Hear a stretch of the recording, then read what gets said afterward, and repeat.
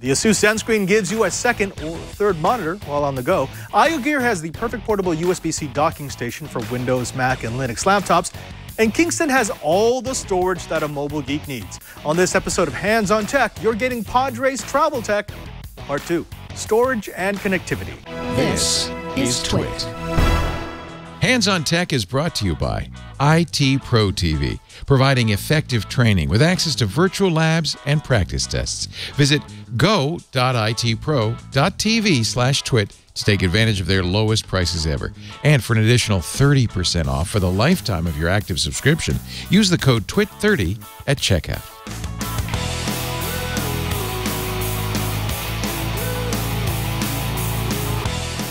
Previously on Hands on Tech, I gave you my choices for powering and protecting your gear while on the go. Now that we've got the right bag, the right battery, and the right power options for geeking on the go, it's time to add those pieces of tech to my tech travel kit that will make my work easier. Now, when you need to move your workstation from your office to your mobile workspace, one of the biggest losses is that second or third monitor. We've become accustomed to having multiple monitors on the desktop and going back to the single screen, no matter how nice it might be, can really cramp your workflow. That's why my storage and connectivity gear starts with this, the Asus ZenScreen. Now, Asus makes several versions of the ZenScreen, including one that has its own internal battery and one that only works on USB-C equipped devices. But I prefer this one, the $240 ZenScreen MB169AC. It's a 15.6 inch 1920 by 1080 full HD monitor with an IPS panel for wide viewing angles. Now, the, the ZenScreen is about the size of a medium Ultrabook at 8.9 inches high, 0.3 inches thick, 14.2 inches wide, and 1.7 pounds heavy. It has a single USB-C port for power and connectivity, but the ZenScreen isn't just a USB monitor. It's a dual mode display device. If you have a USB-C port that has DisplayPort alternate mode, then the ZenScreen acts as a pure no latency DisplayPort monitor. If your laptop doesn't support alternate mode, then the ZenScreen acts as a DisplayLink USB monitor, connecting either through a USB-A port or Thunderbolt 3. Now, Asus includes all the gear that you need to connect. The monitor, the cover that doubles as a stand, a USB-C cable, and an adapter to turn your USB-C back into USB-A. By the way, you actually need this monitor. That's not possible to do this with the USB-C only version. Uh, you have access to the advanced display settings through ASUS's display widget, and the screen does support auto rotation, though that's a feature that I almost never use.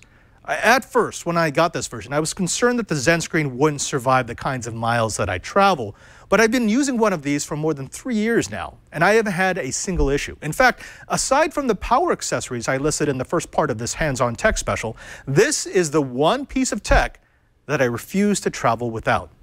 Uh, a second monitor is a great productivity booster for working on the go, but I'm a content creator, which means I also need storage, a lot of storage, and not just any storage, but fast storage. When I'm traveling, it's not unusual for me to have a few terabytes of video assets and a need to offload gigabytes of newly created content every day. Now, the SSD in my laptops aren't nearly big enough, and external hard drives are nice, but they're just too dang slow. If you need to transfer two terabytes of data, you can't be waiting a day for it to finish. What I need is a storage medium that is big enough to store my assets, fast enough to let me edit directly from the storage device rather than copying on and off of my internal SSD, and robust enough that I'm not going to be worried that a strong enough bump might destroy hours of irreplaceable footage. That's why I only carry SSDs, specifically Kingston SSDs. Uh, when I first started moving my storage to solid state, I had multiple SSDs, each in their own external USB to SATA enclosure. That works, but it also takes up a lot of room unnecessarily. You see, I never have more than two SSDs connected at any given time, and SSDs are already so much more durable than hard drives that I don't really need the weight and volume that's taken up by dedicated enclosures. So what I decided on is a stack of naked Kingston SSDs with a single swappable enclosure and one USB to SATA adapter. Now, before I go on, I should explain why I'm into Kingston. You see, I've used every SSD manufacturer on the market, literally hundreds of SSDs, and I tend to go for Kingston, Samsung, and Intel in terms of performance. However, of the three, Kingston is the only SSD manufacturer that I've used that hasn't had a single unit go bad on my watch. That kind of reliability, combined with a great price performance ratio, has earned my loyalty. Now, like I said, I have two ways to connect SSDs in my closure. The first is a HyperX case that came with my HyperX upgrade kit. It's just got a sliding cover. Now, this is nice, but again, it does take up a little bit more weight and a little bit more space. So what I have is my second adapter is this. This is a $9 Sabrent USB 3.0 to SATA adapter. Now, both of these will transfer up to 5 gigabits per second and are backwards compatible with USB 2.0. Uh, what they connect to my laptop is quite simply every SSD in my inventory. I'm using Kingston UV500 series of SATA SSDs. The UV500 series uses 64-layer 3D TLC NAND flash driven by a Marvell 88SS1074 controller. This is actually important. That's not just alphabet soup, because the controller that Kingston uses has a lot of processing power, way more than is required for a typical SSD. Kingston made that choice so that they had more breathing room to add more functionality without taxing the hardware or having to redesign. The end result is that you get the typical 520 megabytes per second read, 500 megabytes per second write, along with hardware-based AES 256-bit encryption. And before you ask, no, Kingston's SSDs never had the recent problem with weak encryption. You also get 79,000 IOPS read and 50,000 IOPS write with less than a 0.2 watt draw at idle and 2.3 watt at max write. Now, the UV500 series comes in a series of capacities. $40 for the 240 gigabyte version, $75 for the 480 gigabyte version, 140 for 960 gigabytes, and fresh off the line, a brand new 1.92 terabyte version for 300. That means the sweet spot is going to be that one terabyte version. Practically, this means that my travel kit has external storage that is fast enough to use as primary storage, and it also means that I can carry 10 to 20 terabytes in a kit that's practically indestructible. Of course, SSDs are an essential part of my tech travel kit lifestyle, but I also carry a few specialty storage items when on the go. The first is this. This is the Kingston Micro Duo 3C. It's a unique flash drive in that it has two interfaces. It's got a USB Type A on one side and a USB-C on the other. Combined with a 100 megabytes per second read rate, a 15 megabytes per second write rate, and OTG, so it does work on your mobile devices, I can easily and quickly move files between my laptop and my phone or tablet. Now, these drives are ridiculously affordable. It's 32 gigabytes for $10, 64 gigabytes for $19, and 128 gigabytes for 31. So 128 gigabytes is your sweet spot. It's a good idea to have a few of these in your bag because they almost act as disposable storage. Hands on Tech is brought to you by IT Pro TV. Experienced IT professionals, people working in the business, but who are great teachers. In fact, IT Pro TV was just named CompTIA's official video training partner. All you have to do if you want to become a member of the IT Pro TV family is buy a standard membership. That's $28.50 a month. But wait, but wait, hold on. if you use the offer code TWIT30 at go.itpro.tv slash TWIT, you'll save 30% off forever as long as you stay active. Visit go.itpro.tv slash TWIT. Use the code TWIT30 for an additional 30% off for the lifetime of your active subscription. IT Pro TV. The second specialty storage device I carry is, well, it's a bit more for the super paranoid people. It's the Kingston Digital Data Traveler 2000. This is, well, way, way more expensive than the Duo. The 16 gigabyte version sets you back $95, and my 64 gigabyte version costs a budget breaking $150. However, what you get for that price is a unique encrypted and hardened storage device. The Data Traveler 2000 uses AES 256-bit encryption and is FIPS 197 compliant for you enterprise users. Unlike some other encrypted drives that are really just secured controllers with your data stored unencrypted on the flash memory itself, the Data Traveler 2000 is hardware encrypted through and through. If someone were to remove the memory from this drive and try to read it another way, it would still be encrypted. The drive has its own encryption engine, with the encryption key accessible only by inputting the right user-defined code on the keypad.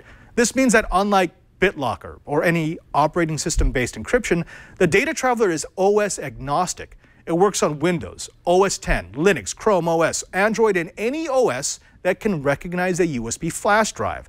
It also means that you have complete control over the encryption key so that you can trust no one. Now, the admin features of the Data Travelers mean that you can set read-only access or configure the drive to dump its keys if there are too many failed attempts to access the drive. That's the mode that I use whenever I'm traveling into what I would consider a hostile space. This is the only secure USB device that I trust with sensitive data when I'm traveling. It may not be the fastest storage device I have, and it's definitely not the largest capacity, but it's unrivaled for sheer data protection. And if you work on the road, that can be a necessity. Speaking of necessity, I'm really not happy with the trend to remove all ports from laptops and depend on the long string of dongles to do anything that you need to do. But at least I can suggest a single dongle that might, might have every peripheral that you need. This is the IoGear GUD3C08 USB-C pocket dock. This $90 dock is, well, it's an 8-in-1 for users with USB-C laptops. I was a big fan of the previous version. That's this one, the IoGear 3C06. And IoGear has built what they learned from the 6 into the 8. First, the Pocket Dock is a high pass-through device. That means it can accept up to 100 watts, use 15 watts, and pass 85 watts onto the laptop, of course, depending on your power source. It supports both HDMI and VGA video ports. The HDMI port is capable of 4K at 30 Hz, though you can only use either the HDMI or VGA port, not both simultaneously. I know some might worry about that VGA port, but I've been in enough situations when VGA was the only option, and it's nice to have it built into the Pocket Dock. The Pocket Dock's aluminum housing is filled out with SD and micro SD card readers, gigabit Ethernet, two USB A 3.0 ports, and one battery charging 1.2 port. One of my favorite features is the detachable USB-C cable. Most of these docks have the cable built in, which isn't always convenient. With a detachable USB-C cable and a hideaway storage port for that cable, the Pocket Dock is easier to store and more flexible in use. Now, the last bit of connectivity tech that I've started including in my Tech Go bag since I moved overseas is the Kensington International Travel Adapter. You can find a version of it for between 25 and $50 depending on the type of features you're looking for. This device works well with all the worldwide voltages from 100 to 240 volts AC and has a series of retractable prongs to adapt to any socket type as well as one or two 2.4 amp USB ports. This device is absolutely essential if you spend any time bouncing between countries with different plug types. Not only will it allow you to connect your primary power adapter, but the USB port means you have yet another way to charge your various gadgets. Just as I mentioned in part one of the Hands on Tech travel special, you need to build a travel kit that works for you and for your gear. But these are the products that I've added to my travel kit after years of practical experience. With all the gear I travel with, from the Anker battery and DC charger to the IoGear AC adapter and pocket top, to my Asus Zen ZenScreen, Sabrent USB adapter, Kingston SSDs, and USB storage devices, my Mobile Edge Core backpack weighs less than 10 pounds, plus my laptop. And I still have an enormous amount of space for more peripherals or travel sundries. Now, I want to hear from you. What do you like in my Tech Go bag? What tips and secrets do you use when you're on the road? What gear would you like to see me take on a long-term trial run to see if it can survive in the rarefied air of the elite mobile Uber geek?